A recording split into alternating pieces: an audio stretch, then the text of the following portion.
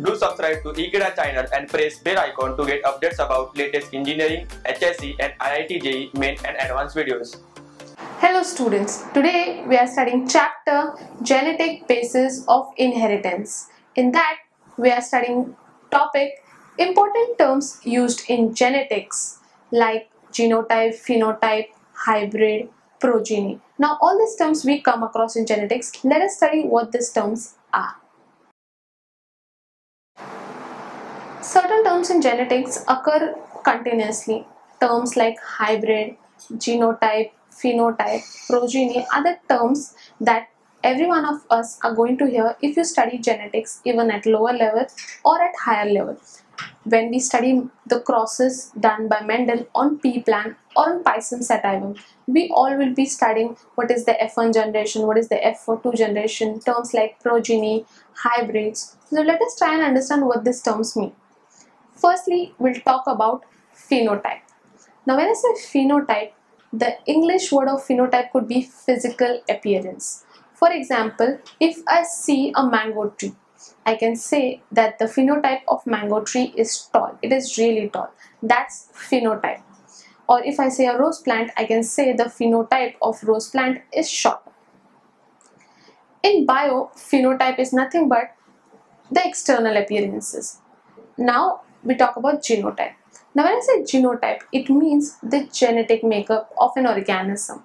For example, your genotype cannot be seen by my naked eyes. Your genotype could have dominant alleles or recessive alleles. For example, I can see the genotype of a plant only through microscope, not with naked eyes. For example, if I notice a mango plant which is tall enough, I can say that the phenotype of the mango plant is tall just by looking at my eyes. But if I have to say the genotype which is capital T, capital T, that could be only done microscopic. So genotype is nothing but genetic makeup. Now pea plant can have genotype capital T, capital T that is tall, dwarf, small t, small t, wrinkled, round, short plants, blue color plants that is capital R, capital R, small r, small r. Now all such words when you see in the pea plant experiment or experiment Mendel, these are all genetic makeup hybrid. Now when I say hybrid, uh, hybridization is a term that we across or we come across very daily on daily basis. When I say hybridization, it means mixing. Now hybrid is an organism which has got qualities genotypically as well as phenotypically of two different individuals and these two individuals or parents or plants are completely different. So hybrid could be called as a mixture. Lastly, progeny.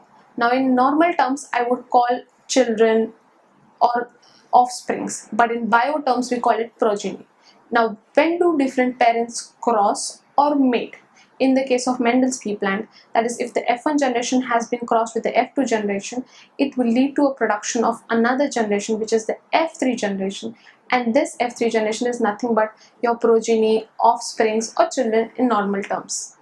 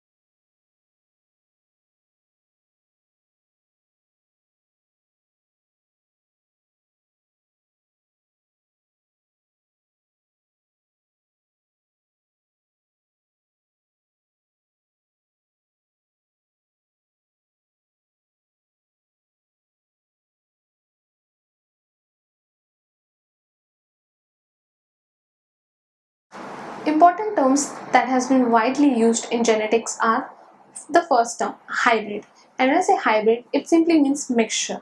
Now hybrid is an organism which is produced after crossing or you can say mating two genetically different individuals. For example, if I cross a round wrinkled pea with an oval and concave pea or you can say correct pea, that will produce an F3 progeny which could be an hybrid containing the dominant traits. Next is genotype. And when I talk about genotype it is nothing but genetic makeup the internal structure which cannot be seen with naked eyes. Now the genetic makeup of an organism is genotype. For example the genotype of a hybrid tall plant is now when I say hybrid it has to be mixture. It's capital T and small t. The genotype of a pure tall plant which is purely homozygous is capital T and capital T whereas of a dwarf plant and that is pure dwarf plant. It is small t small t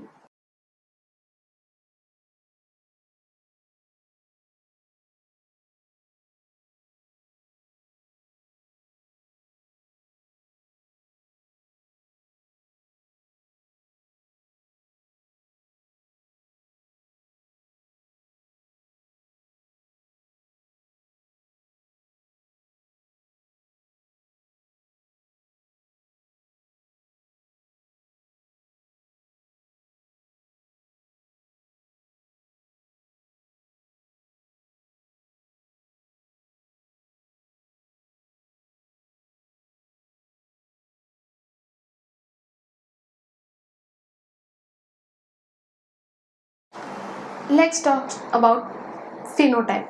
Now when i say phenotype it is nothing but external appearances. Now phenotype is an external appearance of an organism. Phenotype basically stands for dwarf plant. It is for example the genotypic makeup of a dwarf plant is small t small t. Then its phenotypic look or the way it looks to human eyes is that the plant will be dwarf or short heighted Lastly, progeny. And when I talk about progeny, all offsprings of parents constitutes of progeny or you can say daughters or children are termed as progenies. Students, apart from these words, there are certain words that you will always hear in this chapter. One is homozygous and another one is heterozygous, which we'll be studying. Now, whenever Mendel crossed his plants, whether it was dominant, whether it was recessive, in every generation he got different hybrid plants and the progenies were different. Now, what was observed in all the cases is that, that the F1 generation and the F2 generation always had different progenies. Similarly, the genotypic makeup and the phenotypic makeup of no two different generation were the same. Hybrids were produced and these hybrids were self-pollinated just to see the different permutation and combination that could be observed. Students, I hope you are clear with this concept of hybrid, phenotype, genotype and progeny. Thank you.